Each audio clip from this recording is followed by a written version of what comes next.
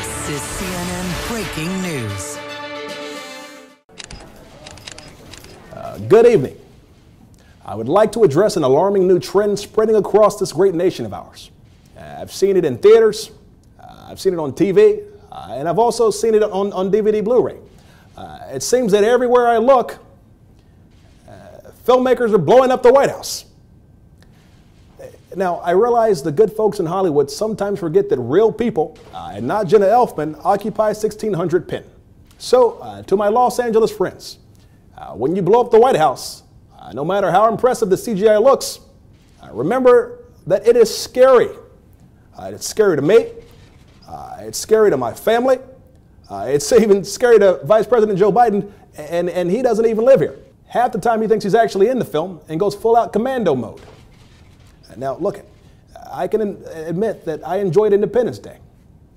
Will Smith punching an alien in the face and saying, uh, Welcome to Earth. Well, well, look, at that, that was very cool. Uh, today, films like these put me in strange predicaments uh, because, look, they hit too close to home. Uh, literally. Uh, let's, let's take a look at what's coming out this year. Uh, Olympus Has Fallen. in this action thriller, the White House gets attacked by terrorists armed with bazookas and a very wise black man becomes president during hard times. Sound familiar? Uh, also coming to theaters, uh, White House Down.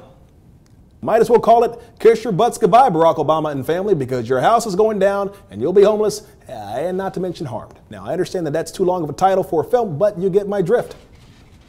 Actually, come to think of it, uh, Hollywood, I'm not only upset about you blowing up my house, uh, but I want you to stop blowing up my plane. Uh, the last time that I was on Air Force One, the in flight movie was Iron Man 3.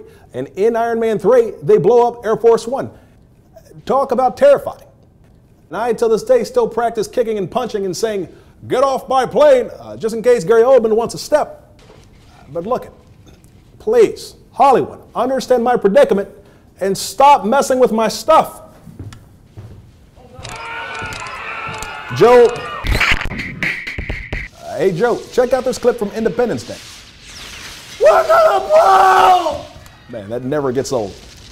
This devil trapped soulless child in small insect. Whoa, whoa, dude! This is not the Wild Wild West. We're on a Disney lot. It's 2013. Can somebody make sure he's okay? Listen, honestly, you got to get this through your fucking head. You're not Tonto.